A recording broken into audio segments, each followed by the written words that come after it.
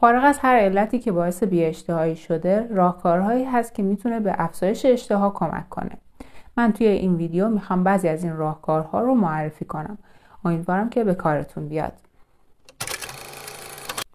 سلام من شیوا هستم مشاور تغذیه. با subscribe کردن این کانال می‌تونید به مطالب علمی تغذیه دسترسی پیدا کنید. اولین چیزی که ما از غذا حس می‌کنیم ظاهر غذا هست.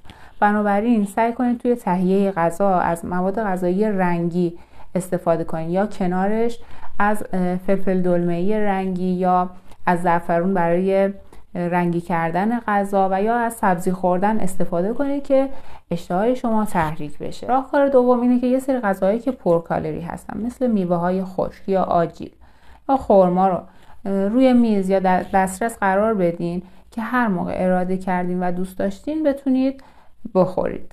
البته حتما حواستون باشه این نزدیک وعده غذای اصلیتون نباشه. از غذاهایی که طعم خاص یا بوی خاص و قوی دارن اجتناب کنید. سعی کنید قبل از مصرف غذا قبل از وعده اصلی غذا یه فعالیت مثل یه ورزش سبک داشته باشید ورزش با افزایش متابولیسم افزایش توده عضلانی و تغییر در تولید هورمون به افزایش اشتها کمک می‌کنه. می‌تونید بخشی از کالری روزانه خودتون رو به صورت نوشیدنی استفاده بکنید مثل اسموتی میوه ها یا شیک پروتئینی. و خب اینها خیلی راحت تر خورده میشن و کالری هم دارن. اما حواستون باشه که از نوشیدنی هایی که مغذی هستن استفاده کنید و از نوشیدنی های قندی پرهیز کنید. راهکار شیشم اینه که غذا خوردن با دوستان با خانواده و یا همراه با برنامه مورد علاقه. ممکنه که بتونه کمک کنه اشتهای شما بیشتر بشه و بیشتر غذا بخورید. هیچ وعده غذاییتون رو حذف نکنید. اگر برای وعده غذایی اصلی اشتها ندارید تعداد وعده غذاییتون رو بیشتر کنید.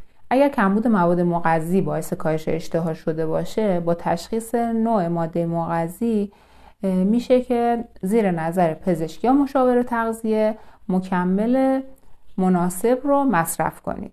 خب این هشت راهکار برای این بود که شما بتونید اشتهای خودتون رو افزایش بدونید بدون اینکه داروی خاصی مصرف کنید. اما اینکه ما بدونیم کاهش اشتها به چه دلیلی بوده؟ خیلی می‌تونه به بهبود وضعیت کمک بکنه. خیلی ممنون که تا انتهای ویدیو با من همراه بودین. این ویدیو رو بفرستین برای کسی که می‌دونین بهش نیاز داره و لایک یادتون نره.